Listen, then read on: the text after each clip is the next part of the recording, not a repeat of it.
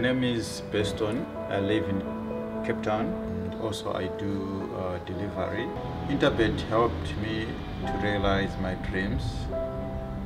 Now I have my own delivery vehicle and I'm able to do the removal in and around Cape Town.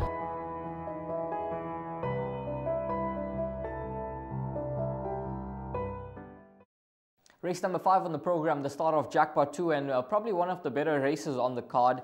And we do have a rerun for you of a party time when finishing third. Interviews with Craig Goody, Garth Puller, and Michael Roberts. Then tread swiftly, Aquabolt. Behind that one, Winter Flight. It's party time. Pray for Rains fighting back. Tread swiftly on the inside. Outside is Putin's Promise. Aquabolt's also getting into the race. Party time and tread swiftly. Winter Flight's also taking late. Tread swiftly and on the outside, party time and Winter Flight's coming and got up. Winter Flight, the last jump from Tread Swiftly and Party Time. Party time, yeah, he's a soldier. He, he you know he loves Scottsville.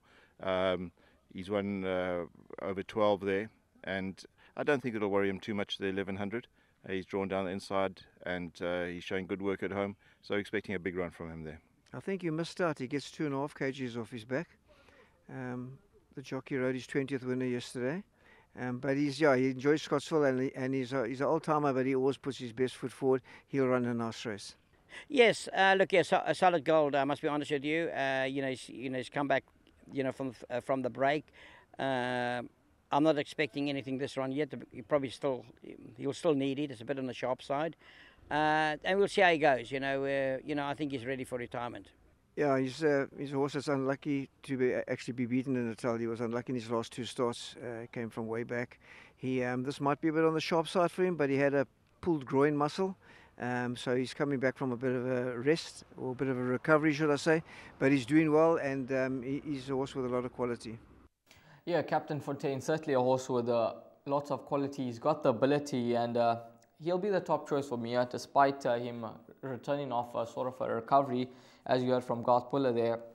And he also mentioned unlucky to uh, get beaten in his last two starts, possibly uh, just a bit too far back.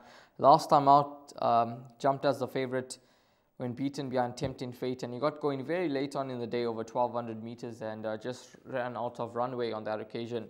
He does have a good first up record, five runs for two wins, a second and a third.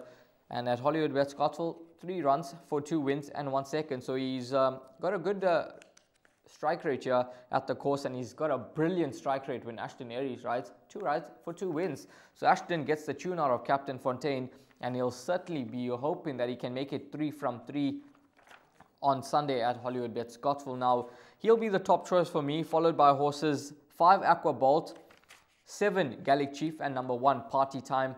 And I'll start with uh, Aqua Bolt and Party Time. They both come from the same form line last time out behind Winter Flight.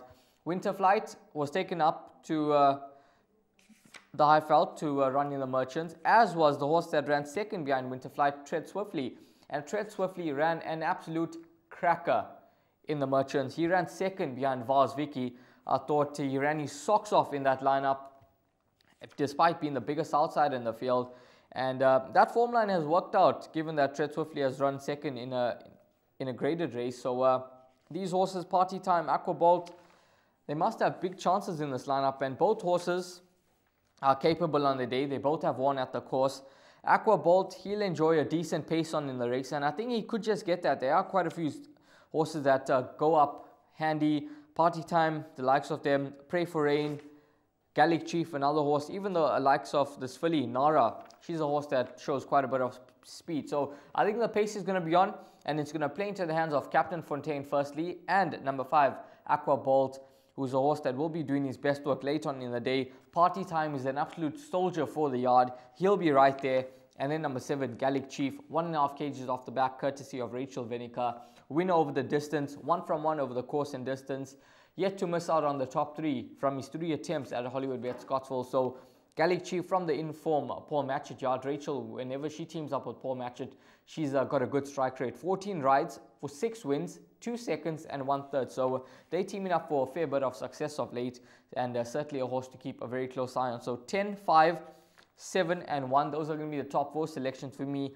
In terms of the pick six jackpots, I think those four numbers should be good enough to see you through. No doubt the value in the race is number five, Aquabolt, at around 15 to 2, 8 to 1.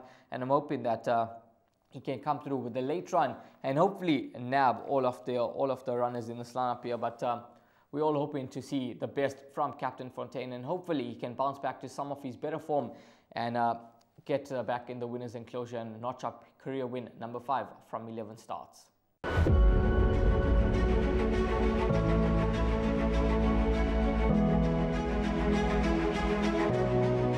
It's good fun. Days like these are, are great. You get the whole industry together. Um, and to have, you know, companies um, and corporations like Interbet and Cape Racing who are uh, so generous with um, sort of time and, um, and energy into into making a day like this possible is uh, it's it's fantastic for everyone.